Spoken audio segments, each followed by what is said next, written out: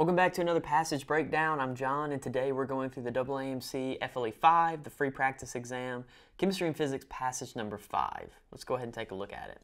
So looking at this passage, it, looks pretty small, but um, looks can be deceiving. It's not the size of the boat when it comes to the MCAT. Sometimes the smaller passages are a little bit more difficult, but Hopefully that's not the case here. Let's go ahead and start reading. Right off the bat, it says the steroid progesterone, remember steroid, that's going to be basic science, we highlight it, has an important role in the female reproductive system. Researchers interested in studying membrane progesterone receptors, MPRs, developed a method to produce and purify the protein in its active form. So here they're just saying that um, we have found a way to purify the receptor for this specific protein. First, the researchers devised a way to prepare a specific MPR known as HMPR alpha using the machinery of yeast cells. Oh, this is riveting. In order to facilitate purification and identification in later studies, they manipulated the yeast cell so that they attached two different tags to the C-terminal end of the protein. Okay, let's go ahead and flowchart a little bit of this out. It's starting to get a little convoluted. So it's saying that progesterone, which is, we're gonna say prog, binds to an MPR. And we wanted to find a specific MPR, and so to do that, we're going through two distinct sequences. So let's see if we can identify these sequences. The first tag, compound 1, is a peptide sequence. So I'm just going to put pep here. So it's a peptide sequence, makes up proteins, that acts as an epitope, which is part of a larger peptide sequence that is recognized by the immune system. Okay, well, immune system is a basic science. Then they, then they show us this compound. There's a lot of amino acids here, so that's definitely a topic that they could test us on. The second sequence consisted of six consecutive histidine residues, Remember, histidine's an amino acid. The sequence binds tightly to nickel cations. In chromatography, histidine 6 tag labeled proteins can be eluted from nickel 2 plus supported columns by adding a small molecule to the elutant that mimics the side chain of histidine. Okay, so they're talking about chromatography here. What type of chromatography are they referencing? They're referencing affinity chromatography here. Um, and, and histidine is actually like the classic example of affinity chromatography. So if you know what affinity chromatography is, you know what this is. So their second second method of purification is affinity with histidine molecules, histidine affinity chromatography. Okay, so now this is completely prepared. You know, we mixed all the ingredients and we get our cake. So HMPR alpha. So we had to go through these two purification processes to get to HMPR alpha to make sure that what we were looking at was actually HMPR alpha. All right, long walk. The researchers conducted a binding assay that utilized tritium labeled 1267H3 progesterone to measure the KD, which is a dissociation constant, or maybe it's the association constant. I don't know. They're kind of they're not very consistent about what what that means on the MCAT.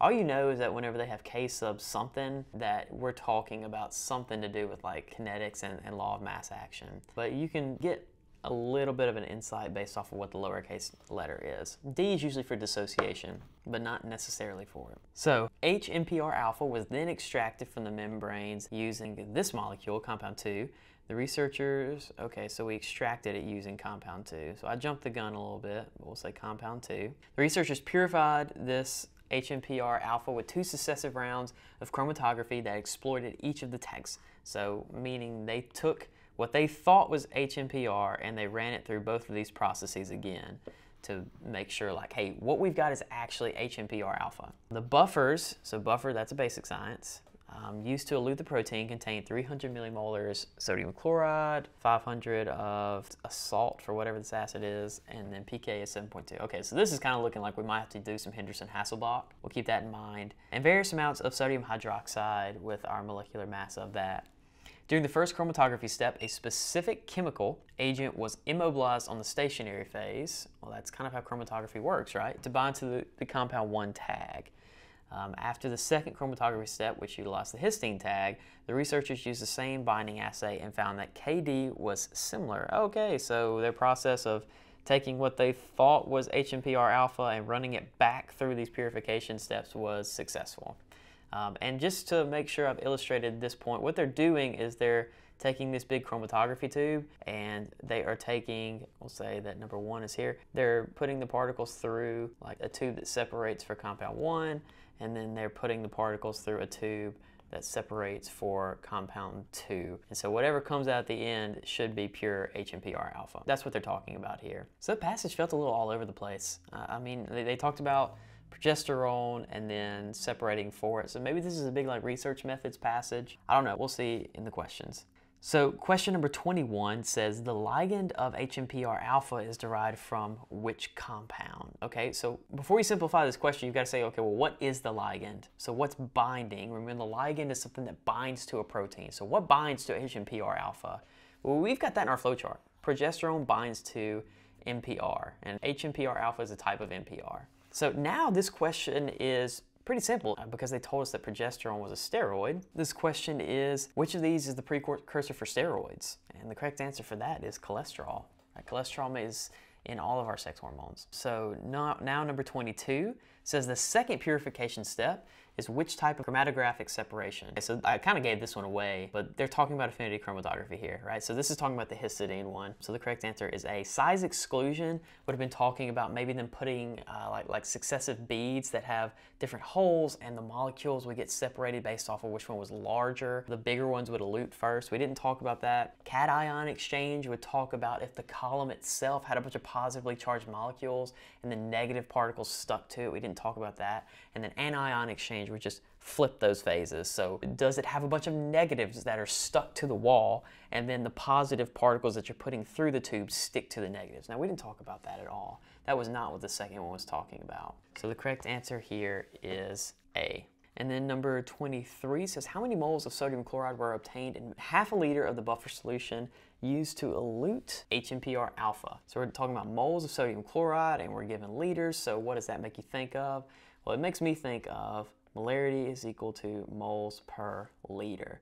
So let's go back to, up to the passage and see if we have molarity. And if we do, then we should be able to get this correct. And sure enough, they give us 300 millimoles of sodium chloride. So let's go ahead and do the alphabet soup method, move these around to solve for moles. So multiplying liters over, we have mole is equal to molarity times liter, and then we're gonna go ahead and plug these in. So make sure you're paying attention to King Henry drinking chocolate milk. We've got 300 millimolar, so 300 times 10 to the negative 3, which is gonna be the same thing as 0.3.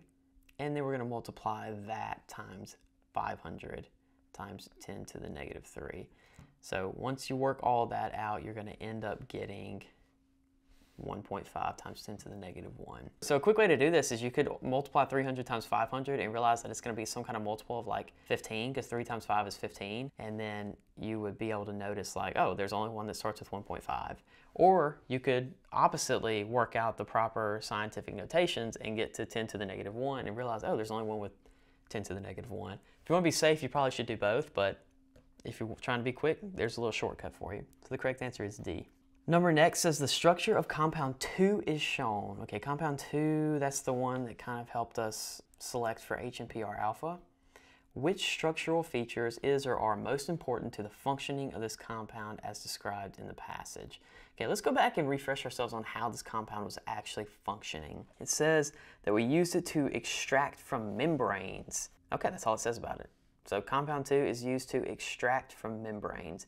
The extraction from membranes is a job pretty much reserved for like detergents, right? And so what's important about a detergent is that they have one super nonpolar side and one super polar side. So let's go through and see if they have something that describes a detergent. A says specific configuration of numerous chirality centers. Yeah, it looks like there's a bunch of chiral crap in here, but that's not super important. So I don't know how chirality is gonna help us like separate things. It's not gonna help us separate from a membrane, so maybe not A.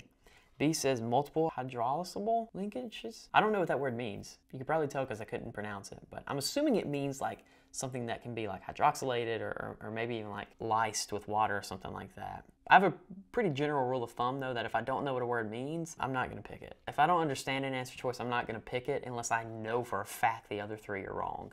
So I say maybe not to B, but I won't completely cross it out. And then C says a combination of large hydrophobic and hydrophilic regions. That's what we talked about, right? That's a detergent. So, so C kind of describes a detergent, so I like it. And then D says the presence of a reducing sugar. Well, that would help us with like one bond or something like that, but that's not going to help us break down a membrane because our membranes are made of a bunch of, it's a phospholipid bilayer and it has a super nonpolar tail and a super polar head, right? Hydrophilic head because you lick with your tongue, your tongue is on your head. Hydrophilic head, hydrophobic tails. And so we would need something that's going to dissolve both of those. So we have a lot of hydrophobics to dissolve the tails, a lot of hydrophilics to dissolve the heads. So the correct answer here is C. And number last says, which experimental evidence suggests that the purified HMPR alpha obtained by the researchers was in its native state? Okay, so I think what they're trying to say here is at the very end, whenever they took it, whenever they took this HMPR alpha, and they like ran it back through these purification processes, what's the biggest sign that what we had to begin with was HMPR alpha? So let's read the answer choices. A says that the HMPR alpha that was obtained retained both compound 1 and histidine tags. That's not how chromatography works. You don't retain those, you actually pass through those. So I don't like A. I kind of hate it. B says was purified by two separate chromatography steps. Several things are purified by two separate chromatography steps. It's not the fact that it was purified by two of them, it's the fact that which specific two it was. And I don't, I don't even know that purified is the correct word here. I don't really like that, that it was purified, because if, if it was purified by the first one, then what would be the purpose of the second one? You know what I'm saying? So I don't think it's purified. I think it might be maybe separated. So I don't like B. Um, it seems a little too harsh. Let's see if there's something better. C says it exhibited a binding affinity for progesterone that was similar to that exhibited by native HMPR alpha. I didn't really talk about it, but that is kind of what we said here. It said that we had the same binding assay and found that KD or the binding affinity was similar. So to me, that's a pretty good indicator that something is the same molecule is if we have it, we think it's HMPR alpha, and we see that its KD is 5. Let's say we think its KD is 5. And then we run it through these tests to make sure that it's KD, um, HMPR alpha, and we see that its KD is still 5 after we're confident that it is HMPR alpha. Because this is a protein, and that's kind of what they do is they bind things, and with it being a receptor, that's a pretty good indication to me that um, you know it's doing what receptors do. It's binding, and it's doing it how we expect it to do it. So I like answer choice C. D says it had nearly identical molecular weight. Okay, well, we didn't talk about molecular weight, so they're just trying to catch you sleeping there. So the correct answer here is answer choice C. Thanks for watching the video. It ended up, it was pretty wordy, but it wasn't quite as bad science-wise as some of the others. So thanks for watching the video. Make sure to like and subscribe. Check out the links in the descriptions. I think there's something there for everybody. And I will see you in the next one.